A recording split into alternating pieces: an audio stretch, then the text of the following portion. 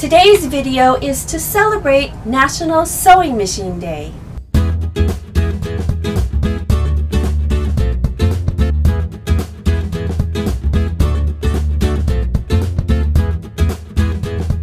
Hello everybody and welcome back to my channel. If you're brand new to my channel, thank you so much for stopping by and if you've already subscribed, thank you, thank you, thank you and welcome back. I am here today with Jeanette Valenzuela and today we are going to be celebrating National Sewing Machine Day which is June 13th. Jeanette, thank you so much for having Thank me. you. Thank you so Thank much. you. So, Jeanette is a creative sewing artist, and we're going to talk about her, get to know about what she does, and the purpose of why she sews, and really just get to know the world of sewing according to Jeanette. okay? So, without further ado, let's get started. So, Jeanette, how long have you been sewing? I've been sewing, I would say, since I was about 10. When I was 14, took it to another level and really learned the bones uh, of sewing with all different stitches, all types of different, you know, fabrics and all the different techniques that one needs besides just, you know, sitting down at the sewing machine and going, How did you get started? Did, was there somebody that influenced you, or a class, or Um, you know, my grandmother and my mother both sewed, and I picked up little habits from them, but I had a hard time learning from them. So I did very minimal, you know, at home with my mom. And in high school, there was a sewing class, and I did not want to take typing, so I chose sewing. And when I started it, it was very overwhelming because it was nothing about just getting to the sewing machine. We had to learn all of the different fabrics and all of the different stitches and all the boring stuff before I could get in there and, you know, make something. So let's talk about the kind of sewing machine that you use. I really, I'm kind of a old-fashioned person that believes that you don't need to have the fanciest machine. I have kind of the Honda Civic of sewing machines. I have a Singer One, which has too many stitches than what I use. And I have my favorite, which is a Singer Brilliance. I think that it was uh, on a Costco, you know, Special. sale special, and I love it. You get so many miles out of certain sewing machines, and it's easy. I love, I love to use it. So tell us a little bit about how you chose your Singer Brilliance. Well, I think it chose me. I had um, an old brother machine that I probably used for a good five years nonstop.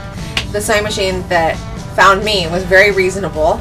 I wish I could get another one and just have, you know, three of them set up, you know, black thread, white thread, and, you know, something I can change because I just love this particular machine so much. So, what, in your opinion, is a good sewing machine for, say, someone starting out, a beginner? I would go to Walmart and I would get something that is maybe not the least expensive, but definitely not the most expensive. I would probably go with the second, you know, least expensive. And I would bring that home.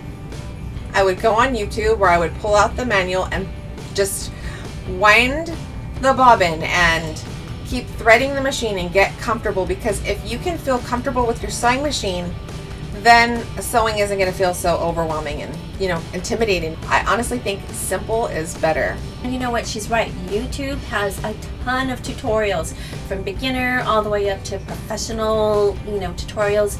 And I, there's something for everybody on YouTube, honestly. So it's pretty interesting how I found Jeanette. I put it out on my Facebook page that I was doing a sewing machine segment, and I was recommended to her by our lovely friend Gaby. Thank you, Gaby. Yay, Gaby! And with that, I learned about Jeanette's Facebook page called Aprons for Autism. Tell us about that.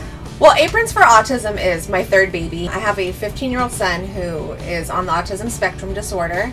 We have encountered throughout the years many therapies that are not covered by state funding or insurance, and we have one particular therapy that is very pricey, but I would do anything I had to to provide it because it's shown him so much in return. It helps to give him a better quality of life. So instead of taking family money that's meant for groceries and utilities and everything, I just kind of dug deep.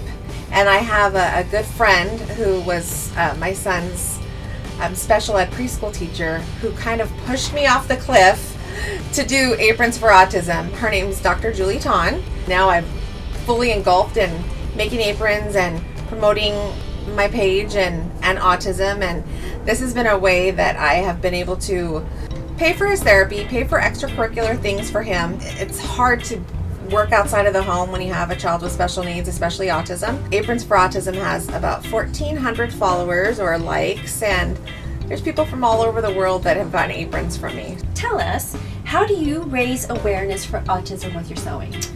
Well, I when I started putting myself out there with the Aprons for Autism, I was doing a lot of vendor events and you know, maybe local, you know, street fairs or, you know, any opportunity to get out there and maybe, you know, hopefully supplement some of the income for his therapy and I would meet a lot of people. I have, you know, a banner that says Aprons for Autism and people would usually stop because my aprons are so cute.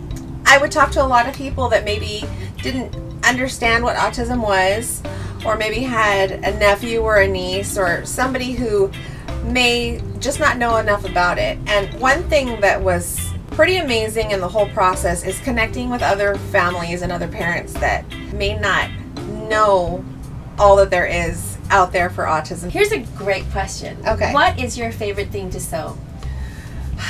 You know, I like to have a vision in my head for a new apron that I've never done before and get some poster board or just blank paper and draw out a, a pattern and create something. My favorite thing that I've ever done was I created a Wonder Woman apron. what? Just, you know, kind of simple, but, you know, stars on the bottom, red on top, gold. You know, it just, you knew it was Wonder Woman, but it was my design and I loved it. How has sewing impacted your life? You know, having a child with autism can be very stressful and having to deal with, you know, therapies and then having a child, being able to give him what he needs, being able to give my other son with autism what he needs, being able to run a household and, you know, support my husband. The sewing has given me a creative outlet and it almost feels very therapeutic. Sometimes it feels hectic and I have a lot of ideas in my head, but most of the time it brings me calming and peace. One thing about my aprons as opposed to maybe other ladies that create aprons is I don't believe that we're one size fits all for aprons. So I created this beautiful apron. It's one of my favorites and I kept it when I made it. It's um, full figured. It covers up, it's lined, fully lined, and it covers everything up. And it's also very flattering for my shape. Now, did you have a pattern for this one, or you just Um, something that you? You know just- what? Sometimes I do use patterns based just on sizing, but a lot of the times I may take um, some parts of a pattern and just embellish it how I feel it needs to look. This one is one of my favorites. Got a lot of my favorite colors, and I really love, you know, the the line right here that kind of you know helps the bust and helps kind of thin everything out. So if this one is yours, you use this. I do use this one. Very nice. I love it. I love it. I love it. What else you got? I do make um, some mommy and me aprons. Oh, So I have this, you know, this is Cute. one example. This probably be for, you know, girls Little any girls. size, and then the mama, cute. the mama. Oh, So- that is so adorable. I get a lot of orders for family aprons. A lot of my aprons, well, most of my aprons are custom for you know occasions or for sizes, and um, sometimes I get even teacher apron requests, which would be something like this, and it's all different. I I make these. These are kind of you know half aprons and. Um, you know, there's a pocket for your cell phone, a pocket for, you know, pencils, and I started adding zippers on the side. it. You call this what? A teacher? This would be like a teacher apron. teacher apron. But How cute. This one's a cute print, you know, for gardening or just kind of running around the house. Look at this. Watch. Ooh. Yeah. Ooh. We're always looking for our phone or our keys or a pencil, and this apron, well, the phones are really our priority for, for That's- pockets. very clever. I've been making these neck chillers, Ooh. and they, uh, they're lifesavers when I'm sitting at my son's, my younger son's baseball game, and this one is not inflated, but these look like nothing, but you soak them in water and they have water absorbing crystals in them. And once they are absorbed, they cool down. and it helps you to tolerate some of that heat. So it feels kind of like rainy sand on the inside, but when you soak it, they just kind of keep expanding. Ooh, that is so clever. I've never seen anything like this. You call them what? I call them neck chillers. I, other people make similar things, but it's it's not a very well known item. I like to stick them in the freezer when they're done absorbing the water so I can have like a ring of ice on me during those baseball games. This one is really good. This one is basically a therapeutic, well the, it did have a, a lavender scent to it, but it's just a therapeutic, you know, bag. You throw it in the microwave. It's full of rice. So there's nothing really special about this. I can give you my secret away for this. But these things you never really think about until you need it. So sometimes after a long day, you put this in the microwave, put it, you know, on your shoulder, on your knee. You could put them in the fridge or the freezer and get like cool. Ooh, and, And- you say this is, has a bright. Oh, it was like a bean bag. It's just like a bean bag. Oh wow! And then you put this in the microwave, and then it just heats up. It heats up How and, long it, does it it- stay heated? You know what? Maybe about like 30 minutes. That rice tends Okay. to really hold the temperature really well. Wow, this is really like, like she says, very therapeutic. It would be, it would help for like sore muscles for people who work out, maybe, or um, you know anybody that has body aches and pains. Perhaps this is really nice. Yeah. Love it. Well, that's it, everybody. Thank you so much for watching. We truly hope you enjoyed this video. I hope you enjoyed Jeanette and all the wonderful things we learned about her sewing and, and the way in which she came about sewing and some of her products. And I will link down below her information on her Facebook page, Aprons for Autism. Jeanette, thank you so much. Thank you so much, Annie. We truly appreciate it. If you haven't already subscribed to my channel, don't forget to hit the subscribe button down below. Hit this little notification bell so anytime we upload a video, you'll be notified.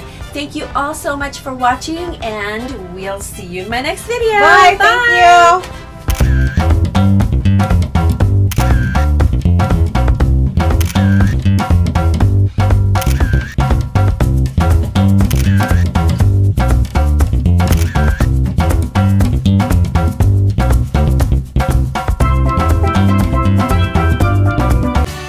For watching. Be sure to comment and like below. We're rolling. Just kidding. Did you get that? Okay. Here's a cool question. Wow. Here's a cool question. What the heck, Annie?